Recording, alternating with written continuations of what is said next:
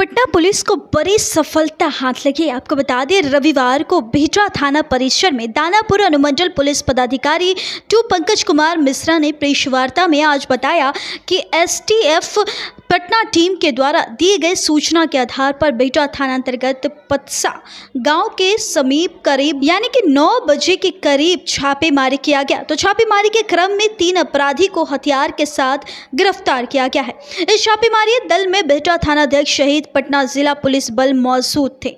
निधि सिंह के साथ बिहटा से आनंद मोहन की रिपोर्ट। दिनांक 26 दस 2024 की रात्रि में एसटीएफ के द्वारा सूचना मिला कि बिहटा थाना अंतर्गत परसा गाँव के पास में कुछ व्यक्ति अवैध हथियार के साथ में है कोई बड़ी घटना को अंजाम देने वाला है। यह सूचना मिलते ही तुरंत एक टीम गठित किया गया बिहटा थाना से और टीम जा करके वहाँ पे छापामारी किया गया। वहाँ से तीन व्यक्ति को गिरफ़्तार किया गया। वह व्यक्ति विवेक राज विवेक कुमार, पिता बबलू शर्मा, साकिन भीमपुरा मसूरी थाना का रहने वाला है। और दूसरा लड़का अमरीश कुमार, पिता सुनील शर्मा, और तीसरा विपुल सिंह, पिता हरे कृष्ण सिंह, दोनों जिनपुरा थाना बिहटा का रहने वाला है।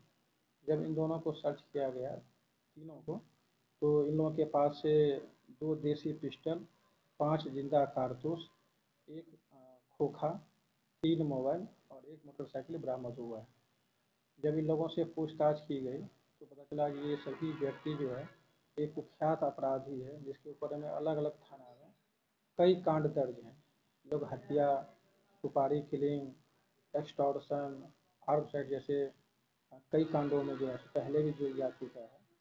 कुछ का आपराधिक इतिहास मिला है और हम लोग बाकी का आपराधिक इतिहास जो है अलग अलग थाना से पता कर रहे हैं।